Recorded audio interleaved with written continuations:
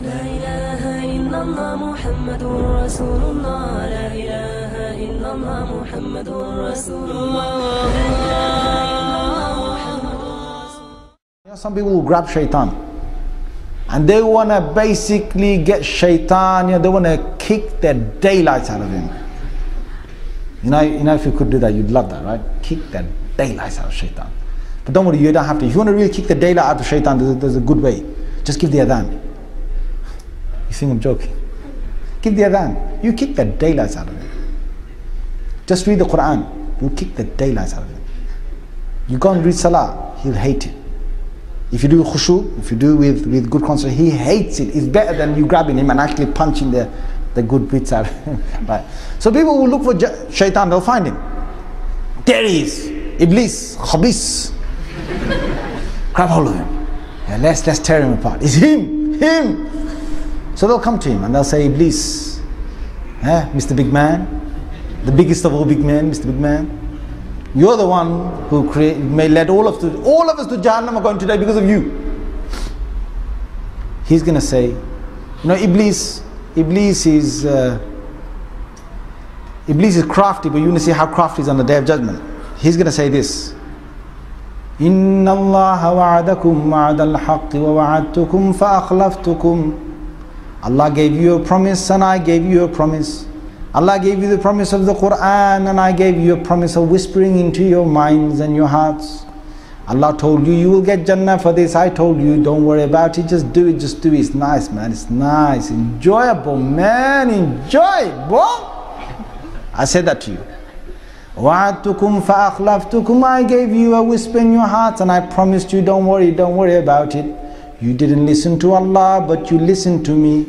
فَلَا تَلُومُونِي وَلُومُوا أَنفُسَكُمْ Who you gonna blame? You're gonna blame me for leading you to Jahannam or was you led yourself?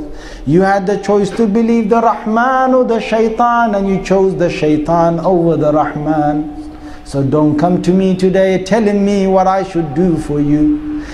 ما أنا بمصرخكم وما أنتم بمصرخي you cannot save me today and I cannot save you today. I cannot come to your rescue today. You can't come to my rescue today. We're both here. We're both here in Jahannam. Basically, what his motto is now we're even, Stephen. Because shaitan wants that. He wants us to go to Jahannam. And you know, a lot of people, you know, you know the biggest trick of shaitan is? The biggest trick of shaitan is that you don't even feel that he exists. Allahu Akbar. You know, there's a lot of Muslims doing a lot of things. They don't even think about the shaitan. You know, if you think about your shaitan, he's on your back, he's your enemy. In this world, you think about it physically. I want you to think about it. Think about two things. Do, do a favor for me. Think about two things. Don't think about too much, otherwise you're going to go hula baloos, yeah? You know, you might get a bit cracked inside. You might say, yeah, yeah, I'm seeing this devil, man. Know. Don't, don't think about it, but I just want you to put in your mind, yeah? Think about it. Rasulullah sallallahu has said, every person has one angel with them and has one devil with them. The angel tells you to do good things and the devil tells you to do bad things. So when you're in your life and you hear, you want to do things and you make intentions, just think, which one was it? Was it the devil that just told me that? Was it the angel that told me that? Just think about it. And when you're doing something bad, just, just imagine the shaitan's there and he's looking at you and he's going, Or imagine yourself from the next life, you just come back and you're looking at yourself. You've been given one chance, look at yourself. And he's, you're looking at yourself and you're, you want to kill yourself. Because what you're doing right now is going to end you up in Jahannam. Or imagine you're trying to do something good and you're, you're, you're finding it really tough to do it good. Imagine yourself, you came from the next world right here.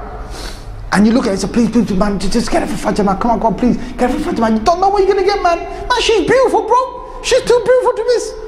This Fajr is gonna get you the. Oh, you don't know what you're missing. You don't know what you're missing. And, and what did Allah say in the Holy Quran? Subhanallah, He said, فَلَا تَعْلَمُ نَفْسٌ مَا أُخْفِيَ لَهُم مِّن قُرَّةِ أَعْيُنٍ Allah said, the eye does not know what Allah, the beauties Allah has hidden from it. I doesn't know. Now don't do the other extreme, okay? Don't sit in this world and think, man, Allah has talked about Hurains. I wonder how they look. Let me turn my imagination on. Ooh. and you try and basically look at, uh, or you say, I can't, I can't. Let me, oh, that's a nice woman. Mm, maybe, well, I've got to see her because I've got to try and see if, you, if, if the houris are more beautiful than her. And don't, don't go to the extreme, okay? Because hurins have been mentioned in Jannah, but don't make things wrong for yourself. But what I'm trying to say to you is the shaitan, if you have a mind that remembers your enemy that he's around you, then you're going to be scared of it. Otherwise, you just carry on doing what you're, what you're doing. Now remember here, Allah said the leaders and the subordinates both will go. None of them can blame each other. In fact, some of them will say, give them, the subordinates will say, give our leaders double the punishment. Give them du'fan min adhab nar. This is in Surah Al-A'raf. نور على مر الزمان تألقا وأضاء للدنيا طريقا مشرقا وهدى من الرحمن يهدينا به للصالحات وللمكارم والتقى